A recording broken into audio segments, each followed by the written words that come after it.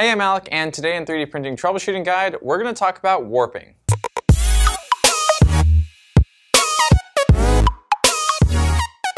I'd like to remind you that if you enjoy the 3D Printing Troubleshooting Guide series, be sure to subscribe to the channel to stay up to date with all the other errors that I'm going to troubleshoot in the future.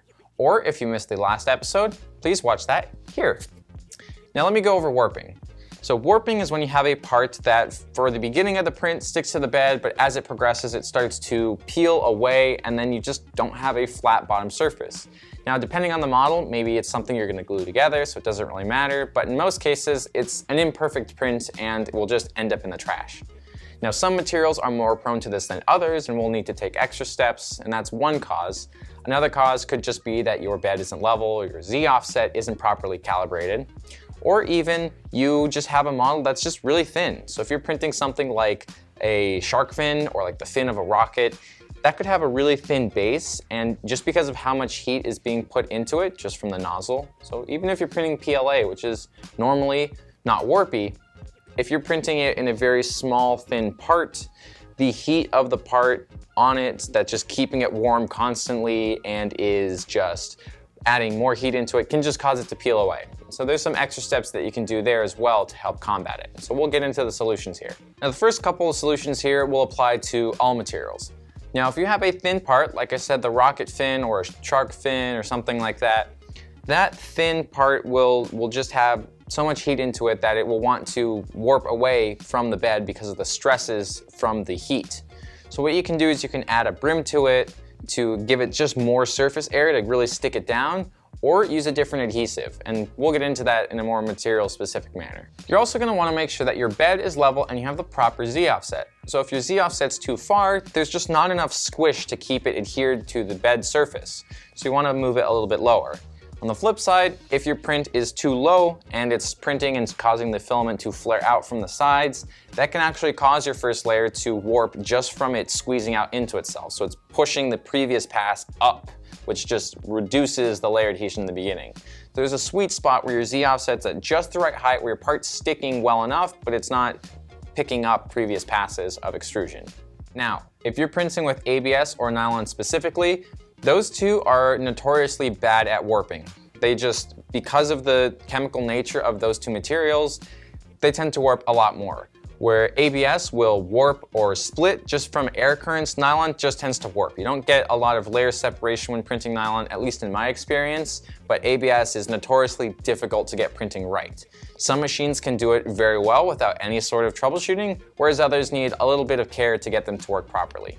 So with these materials, be sure to use the proper adhesives. So with nylon, PVA glue stick and PVA glue stick on Garolite works exceptionally well. You just wanna make sure you have a thin bit, thin layer. You don't need a, a ton, because if you put too much on, what can happen is it just like peels away from that. It just forms like a release from the bed.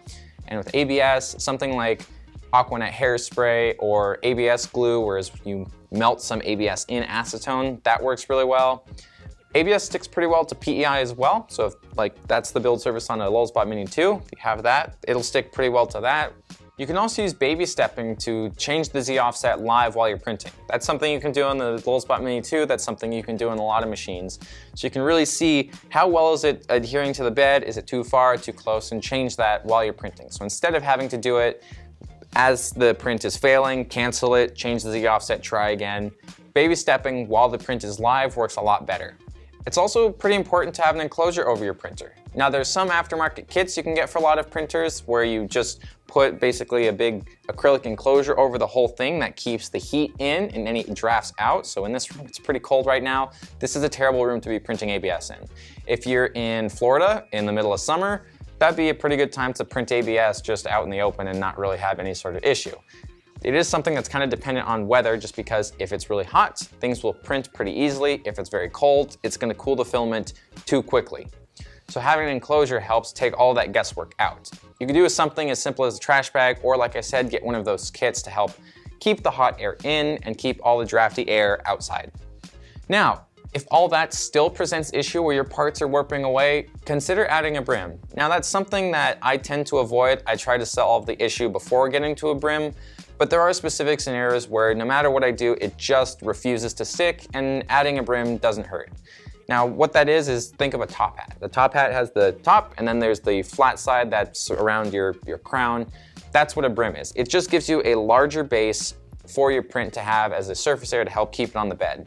While some people consider rafts a good alternative to brims for ABS and nylon, it's something I personally like to avoid. I'd rather solve the issue somewhere else before getting to a raft. Raft is something that I hardly ever use, but for some people, it works really well. And in that case, I'm not going to say, oh, stop using it, but try and look at what's causing the issue in the first place. Because rafts are generally used when you have an unlevel build surface or you have some sort of poor adhesion to the original surface that you have on your printer. The other thing with rafts is that you don't get that same sort of smooth or glossy bottom surface that you could get with glass or with PEI. You get sort of a rough texture from the basically having a bed of support that your part is being printed on. So if you don't care about the bottom surface and you're willing to put up with it, rafts may be a good option, but if you'd rather encounter the issue somewhere else and then solve it, consider just starting with the brim and then working your way down to solving the issue. Warping is something that everybody that 3D prints is going to encounter, so I hope that the tips and tricks I provided in this video is going to help you get past that issue. But if this specific issue isn't the one you're having, please feel free to check out our channel where we have a playlist with all the other different 3D printing troubleshooting guide videos that maybe answers the specific issue you're having. If, however, that doesn't solve your question either, please don't hesitate to reach out to our support line at support at matterhackers.com or give us a phone call where you'll be able to talk to an actual person to help you troubleshoot whatever issue you're having. And stay tuned for other videos we're going to put out about the other different errors you can encounter while 3D printing and troubleshoot those as well. I'm Alec from MatterHackers. Thanks for watching. Thanks for watching. If you like that, give us a thumbs up and be sure to subscribe to stay up to date with all the big builds, how-tos, and troubleshooting guides I'll be working on. And don't forget, check out matterhackers.com to explore everything 3D printing and to join the community.